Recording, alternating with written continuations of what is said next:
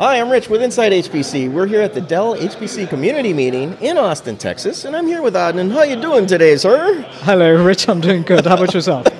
good, good. You know, this has been a great meeting. I, there's something like 300 customers here. You know, a lot of people, a lot of interest. So, along those lines, what are you hearing from customers this week?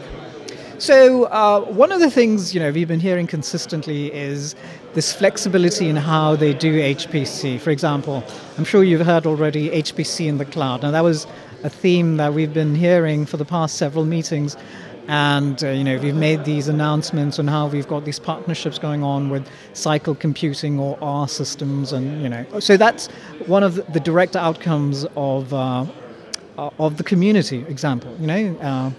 But uh, what we're also hearing is they want to have um, different ways of leveraging HPC for what they do. For example, big data, you know, it's been talked about for a very long time.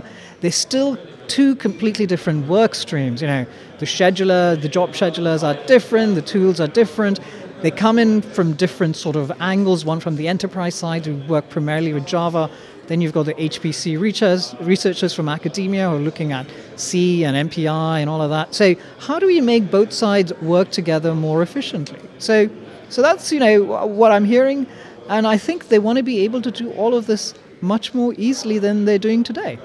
And, and I hear this from both sides, both from the enterprise side as well as from the research side.